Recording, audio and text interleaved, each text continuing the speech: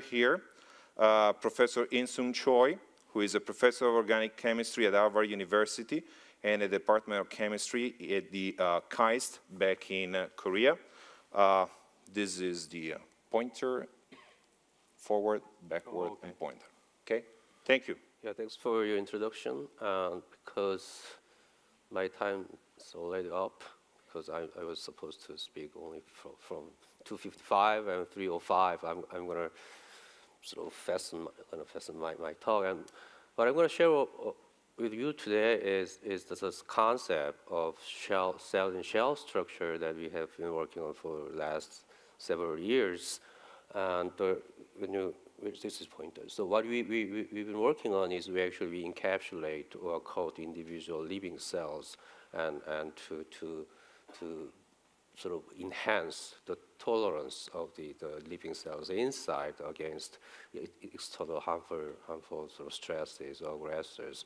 And the reason why we are working on this is that there are, in nanomedicine, there are a variety of different kinds of applications where you, you actually need living cells for your functional functional materials or entities. So, and also you need to sort of the in, enhance the, the, the, viability of living cells under storage or transfer or, or other sort of manipulation in vitro. So we need to sort of enhance viability of the individual living cells, especially mammalian cells, in, in, in the daily life or laboratory settings. So this, so what, again, what we are doing here is that we actually encapsulate these individual living cells with the, these artificial these sort of shells. And then as, as, as the organizer, as the organizer said, I was trained as a chemist, so I don't have any that much applications in clinical nanomedicine. I'm going to just sort of show some chemistry point of view for, for making nanomaterials or biomaterials for possible applications to, to nanomedicine. So the, this is first one of the first examples of shell and shell structure that we published in nine, oh, quite about more, about less than 10 years, about eight years ago, where actually we encapsulate the individual, the yeast cells with silica. Silica is a kind of glass. So uh, when you, and also at the same, in the same year, the Austrian bio, microbiologists found, found this type of the, the resting cyst of ciliate where you can see that this granular silica structure outside. And, well, what they found is that uh, they, under the sort of harmful stresses in, in, in, nature, these species actually form the silica structure outside as, uh, as outmost shells. So what I want to say here is, in nature, this type of structure actually generates or formed in, in, in, in, through the biological evolution in response to the, the external stresses. So once sort of living systems, living, living species actually feel external harmful stresses. Some, some actually organisms or, or cells actually transform their states to those kind of the structure or states where they actually make some kind of coat or the, uh, a durable coat to withstand that kind of the stresses. Here, what we did is that we simply just formed those kind of cell in shell structure and what you can anticipate here is that you can increase the viability of these cell structures under sort of harmful stresses. So there are a variety, variety of different kinds of examples where you can find enhanced viability uh, under harmful stresses where you can see that the mold, mold nutrition, nutrition here. So when you, when you store the cell structure in, in pure water at the decreased temperature, say 4 degrees Celsius. And then when you, when you measure cell viability after one month, you can see huge increase in cell viability, which means once you can form this kind of cell structures, you can uh, increase or enhance cell viability. Again, there are other examples where you can see that, well, this type of cell shell structure actually withstand the enzymatic attack, or where in this case, lyticase due to that small little porosity of these artificial shells.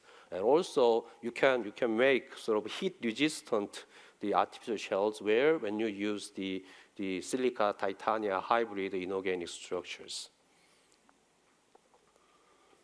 So but what's important here is that, again, when I, when I said this, this kind of inside structures, what's important is a cell, functional cells. What we're going to make of the cell structure is that we're going to use these functional cells after some, some period of time of storage in, in a certain point time, they, let's say one minute, one hour, or one week, or, or one month, or several years maybe, and then one, and then your sort of storage actually ends. You have to actually use functional cells inside. So, uh, in other words, what I'm making here is that is, is, is a kind of the micrometric Iron Man because what's more important is the cells inside, not the shells. So if, if the, when you make the artificial shells, and then after a certain period of time, when if, if the cell inside uh, uh, is die, and that is like a sort of the, the sort of sort of the sort of the fancy suit in, in Iron Man, the movie of Iron Man, fancy suit without the Tony Stark, because Tony Stark is kind of functional cells. So you have to sort of maintain cell viability for a certain period of time, and then you have to use cells inside. So how can you use cells inside? So once you make this kind of cytoprotective artificial shells for individual cells, after a certain period of time, maybe you have to break up the shells to use functional cells, right? And also, another maybe sort of approach to use these cell, cells inside is, well, I have, well, maybe you can, main, oops, you can maintain this sort of oh, antigen-antibody interactions without the, with these cytoprotective shells. So first approach is using, well, variety of different kinds of materials. So once you form these, uh, these cytoprotective the shells, and then you can break these shells to, to, use, to expose the functional cells to outside. So these actually demonstrations has, have been conducted in, in, in, in vitro, meaning that in, in, flask. So if you want to use this kind of cellular structures in the body for, for example, like nanomedicine, well, that shell, this shell should, should, broke, should be broken up inside in your body, somehow under physiological conditions or biological stimuli. It's, it's, that is really, really, really tough. Another possible approach is using or for keeping this antigen antibody or the interactions at, at cell surfaces, or you can also keep this sort of cytokine secretion inside your body uh, while protecting cells from enzymatic attack or other sort of attack in your body. So that, for example, uh, these are the, one of the examples where you can use cells with, well, in cell therapy. NK cell it has been studied for cancer cell therapy where you, when the NK cell is actually sort of extracted, isolated from a patient to a donor, and then it's expanded, manipulated, expanded, and then it, goes, it is, it's, it's re-injected, uh, in, in, in, which is infused into patient. So what I want to do here is that we actually increase cell viability in vitro during manipulation or storage, and then we, once, once this, this sort of the, after infusion in, in, in a patient, uh, if there is anti-antibody interaction, is maintained, and you can use this uh, NK or T cells or, or lymphocyte for, for the, the, the cell therapy. So in this case, we use a sort of porous, oops, porous titanium, titanium oxide, titanium dioxide cells, and then you see that there is a lot of the porosity is really big, and then which means you can you can maintain antigen antibody interactions.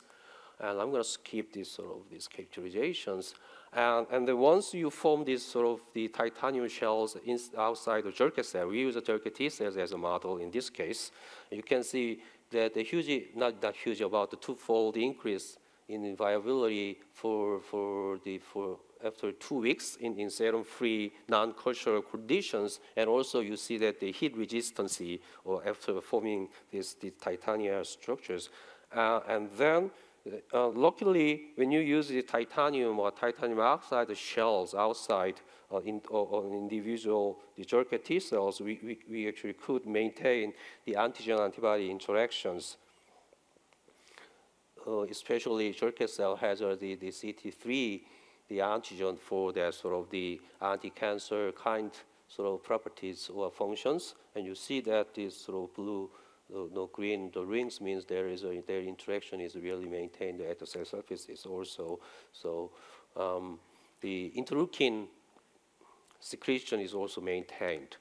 uh, compared to native, compared with the native Jurkat cells, you can see that uh, the sort of reasonable sort of secretion of, of, of, of, interleukin two upon the upon the activation of the Jurkat cells by using this kind of the mo- the chemicals or the the bead. Bead is a, actually is, is, is a kind of model for the, the other cells, so you, you can actually maintain the, sort of biological activities while protecting these Jurkat T cells individually under in vitro or in vivo conditions.